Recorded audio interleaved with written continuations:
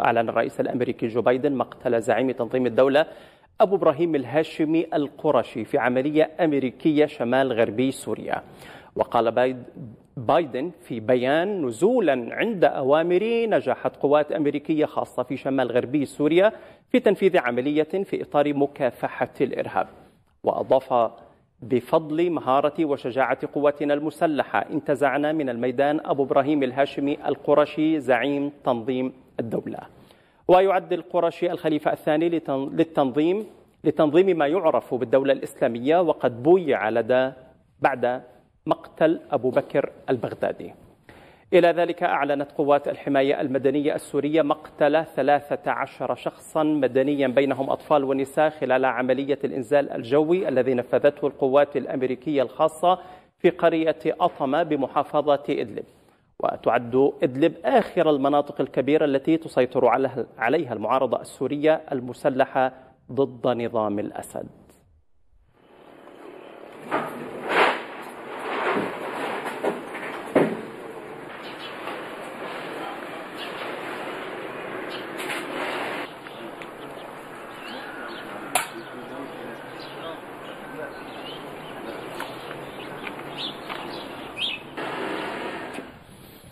وللحديث أكثر حول العملية الأمريكية. يسعدنا أن يكون معنا بالنقاش والتحليل عبر سكايب الأستاذ ياسر النجار الكاتب والمحلل السياسي. أرحب بك معنا أستاذ ياسر.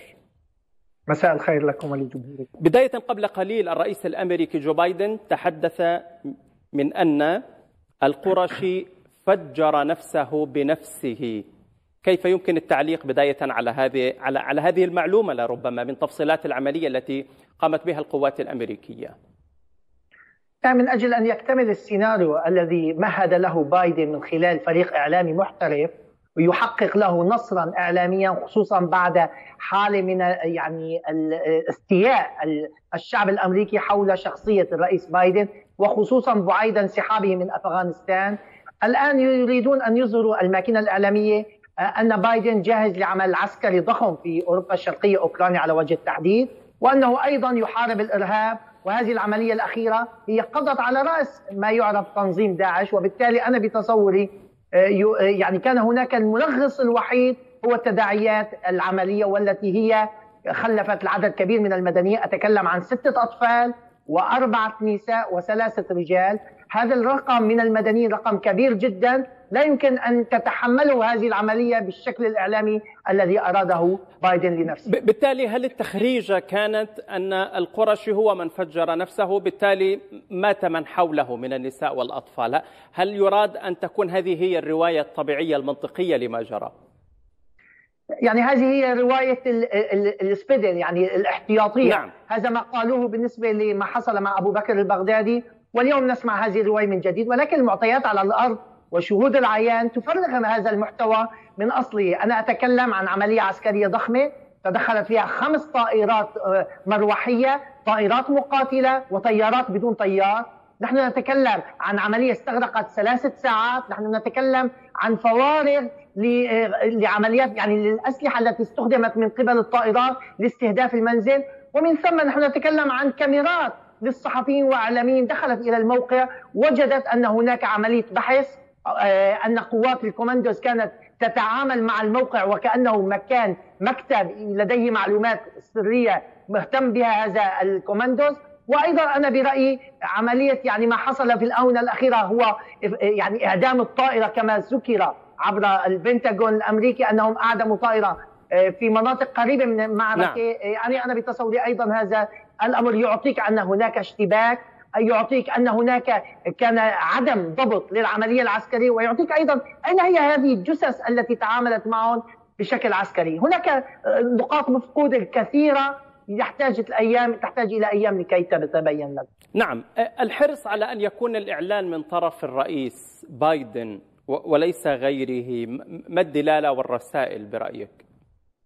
يعني هذا الأمر تم تكريسه عبر الشو الأمريكي. هذا ما وجدناه عندما أعلن أوباما نعم. وعندما أعلن ترامب عن عملياتهم الخاصة. الآن بايدن يحتاج إلى مثل هذه العملية الآن. وكما ذكرت كل من الرؤساء عندما يصل معدل يعني القبول أو يعني التعاطف الشعبي معهم إلى أقل مستوى يحتاجون إلى مثل هذه العمليات، المشكلة أن الرئيس الأمريكي صرح بشكل واضح على أن هذه العملية يتم التعامل معها منذ بضعة أشهر، إذا لماذا هذا الانتظار؟ ونحن لا نتكلم عن قطع عسكرية، أنا بتصوري هناك كما ذكرت يعني صياغة غير مكتملة للسيناريو الهوليودي الذي نعم هل هناك رابط أستاذ ياسر بين العملية وتوقيتها والصورة كما تفضلت الهوليودية في تقديمها وبين ما جرى في سجن الحسكه هل هناك رابط أم المسألة مصادفة لربما؟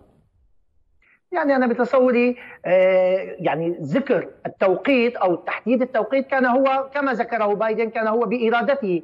إذا خروجهم بهذا يعني بالأمر السلبي من عملية الحسكة عندما قيل لهم أنتم أعلمتم أنكم انتهيتم من تنظيم داعش، الآن تنظيم داعش يدخل إلى عمق أهم مدينة في مناطق الجزيرة العربية ويكون له دور، يعني أنا أتكلم عن الجزيرة الشامية. نعم. عندما يكون هناك تنظيم داعش بهذه القوة ويتعامل مع عمل عسكري لمدة أسبوع، اذا الولايات المتحدة الأمريكية لا تصرح بشكل دقيق، الآن ظهور بأنهم تعاملوا مع قائد هذا التنظيم بعملية أمنية وتم القضاء عليه أنا بتصوري أرادوا من خلالها أن يكون هناك ردة اعتبار ولكن يعني المعطيات تقول أنهم كانوا يحتاجونه حيا ولذلك كان كل هذا الكم الكبير من الأشخاص الكوماندوز الذين كانوا يتعاملون مع العمل. نعم، يعني لو ناقشنا فكرة أنه قام بتفجير نفسه، هل المسألة بعيدة عن سلوك وسياسة ومنهج وطريقة تفكير قيادات تنظيم الدولة؟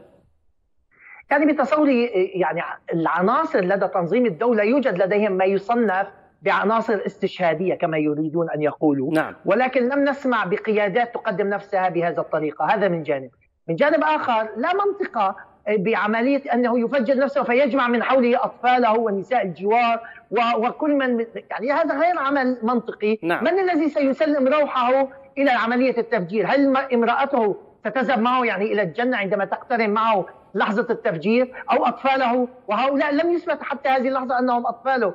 هذا من جانب. من جانب آخر الوقائع الموجوده على يعني بالمكان إذا هو فجر نفسه لماذا الاستخدام لكل هذه الترسانة الأمريكية؟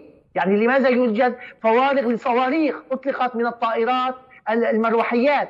إذا هناك استهداف للمبنى بشكل كامل. تهديم المبنى يعني يوحي لنا أنه جرى التعامل معه من الخارج السقف يعني السقف الذي هبط بمكان بذاته. وأيضا لنقولها بصراحة يعني الدخول الكومندس حرص الكومندس للدخول إلى الموقع يعني لي على أنهم ضمنوا أنه لا يوجد أحياء. وجرى التعامل مع من يتواجد في داخل المنزل بحيث لا يشكلون أي خطر. نعم. لأنه لو كان تعرض أي جندي من الكوماندوز إلى مقتل كان مشكلة كبيرة في الحقيقة نعم عن هذا المقتل وددت سؤالك في سؤالي التالي. يعني هم تحدثوا أن العملية نظيفة بمعنى لا جرحى ولا قتلى بصفوف آه، آه، دلتا وهي الفرقة التي قامت بعملية التصفية انجاز التعبير. آه، هل هذه الصورة يمكن أن تكون طبيعية في ظل الحديث عن أن هناك معركة استمرت لساعتين يعني ساعتين والمستهدف محصن بينما المهاجم مكشوف بشكل أو بآخر بلغة المنطق يعني هل هذا وارد أن تكون نظيفة 100% القصة؟